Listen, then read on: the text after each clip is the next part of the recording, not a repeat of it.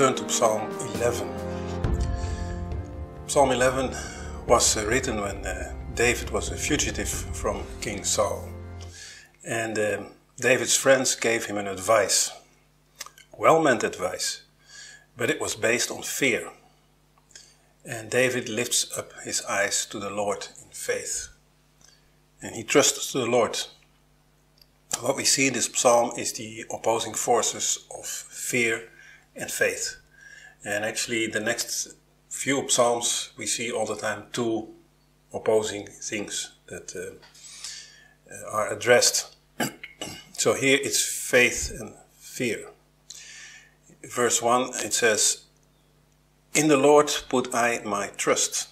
How say ye to my soul, Flee as a bird to your mountains? In the years before David took the throne, uh, he was constantly on the run, hunted by Saul. And uh, at this time, his friends advised him to flee to the mountains. And that advice was rooted in fear. And David outright rejects it. He's saying, How can you say such a thing? I trust my Lord. So, very clear in verse 1, the stage is set for this psalm. But uh, the friends continue uh, with their fear mongering in verse 2 For lo, the wicked bend their bow, they make ready their arrow upon the string, that they may privily shoot at the upright in the heart. If the foundations be destroyed, what can the righteous do? So the friends fuel the fear with a graphic description of the danger. And uh, they say they have already bent their bow. Eh? In other words, we would say uh, their guns are loaded, their finger uh, on the trigger. Um, they may shoot even secretly, they say. You don't even see it coming. And of course, uh, fearing something that we can't see, um, it, it increases the fear. Eh? We've seen this, of course, in recent years with a fear of, uh, of, a, of a virus that you could not see and so, um, if you can't see it, then you never know whether it's there or not. So that's uh, the tactic that the Friends used, nothing new under the sun. Um, and uh, they strengthen then their, their argument by saying, What else can you do when even the earth beneath your feet sinks away? There is nothing left to stand on. But David says then in verse 4 the Lord is in his holy temple. The Lord's throne is in heaven. David says with so many words, now wait a minute, God hasn't gone anywhere. He's still on his throne. He's still in control, and he won't be going anywhere, and neither will I. When this advice of fear comes upon us, the only answer is one of faith and one of spending time with the Lord. When we think of our problems, we may be overtaken by fear. When we pray about our problems, uh, the answer of faith strengthens us and gives us new hope. God's throne is in heaven. We easily forget it. We easily think that the kings and rulers, princes and um, presidents of this world are the ultimate authority, but they're not. They're not at all. God is, uh, God's throne is in heaven and the earth is merely his footstool. It says in Isaiah 66 verse 1, Thus saith the Lord, the heaven is my throne and the earth my footstool. And Jesus sits at the right hand of the throne, interceding for us. David's friends say in verse 3, What can the righteous do? And David says, As long as God is on the throne, there's nothing the righteous cannot do. And he continues, verse 4, second half, His eyes behold, his eyelids try the children of men.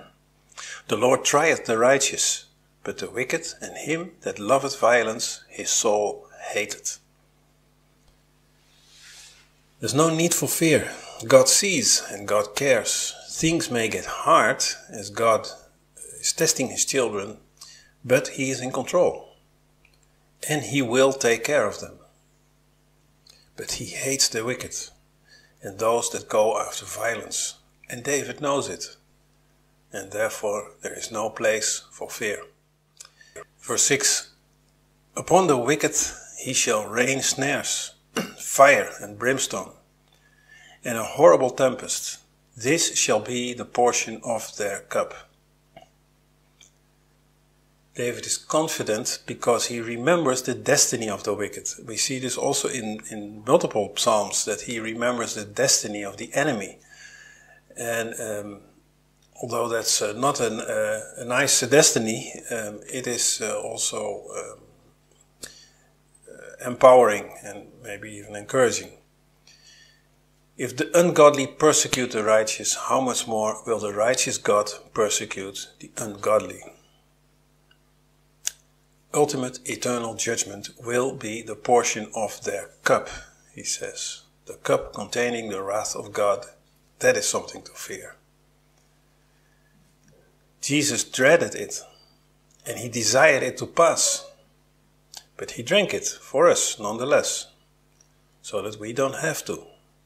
But the wicked who do not accept Jesus will ultimately drink from the cup of his wrath. Now the question is, who should really be afraid? Verse 7 For the righteous Lord loveth the righteousness, his countenance doth behold the upright. In closing, David remembers who God is and who he favors.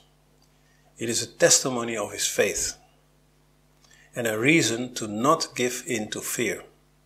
The Lord is righteous, and that is bad news for those who rebel against him, but encouragement for the innocent, for the innocent victim who was persecuted. God loves righteousness. And if we walk righteously, we keep ourselves in the love of God. And when I say that, it is not works. People jump to that so easily all the time and then dismiss everything. It's not works um, to earn God's love, but it is walking in His will because we love Him. And we can do that, and we can only do that, I would say, through Jesus. He is the one who clothes us in righteousness. In Jude 1, verse 21, it says, Keep yourselves in the love of God, looking for the mercy of our Lord Jesus Christ unto eternal life. It's an instruction. He's not saying you have to work in order to deserve God's love. He says, keep yourself in the love of God. Um, and it's, it's uh, should be a no-brainer. This is what you want actually, if you truly love Him. And when we walk away from God, He still loves us. But when we do so, we don't benefit from that love. We've seen it, for example, with the prodigal son. When he walked away from his father, his father didn't stop loving him, but he himself, he did not benefit from that love at all at the time he was away from his father. So um, that's why it's important to keep ourselves um, in uh, his love. And that is, that is what uh, it says there um, in Jude. His countenance beholds the upright, David writes. And these words, uh, they can actually be translated in two different ways. It can be that it means the Lord sees the, uh, his upright people, or it can mean an upright man will see God's face. And actually, both uh, are true. Uh, God shines his face on his people. Not like Big Brother is watching you, but as a loving father who looks over his children with a watchful and caring eye. And that is truly a blessing. That's why we see these words in what we today know as the uh, Aaronic uh, blessing uh, in number 6, verse 25 and 26. The Lord make his face shine upon thee, and be gracious unto thee. The Lord lift his countenance upon thee, and give thee peace. The Lord lift his countenance upon thee. It's the same words. And yes, God's people will also see him. In Psalm 17, verse 15, David writes, As for me, I will behold thy face in righteousness. I shall be satisfied when I awake with thy likeness. And in Matthew 5, verse 8, Jesus himself says, Blessed are the pure in heart, for they shall see God. In fact, the desire to behold God is one of the greatest motivations to an upright life and an upright heart. It should be. In uh, Psalm 27, um, famous verse, David writes, One thing I have I desired of the Lord, that I will seek after, that I may dwell in the house of God all the days of my life, to behold the beauty of the Lord, and to inquire in his temple. All in all, when David considers all this, one thing is clear. The advice of fear should only be answered with faith. In the Lord I put my trust. Amen.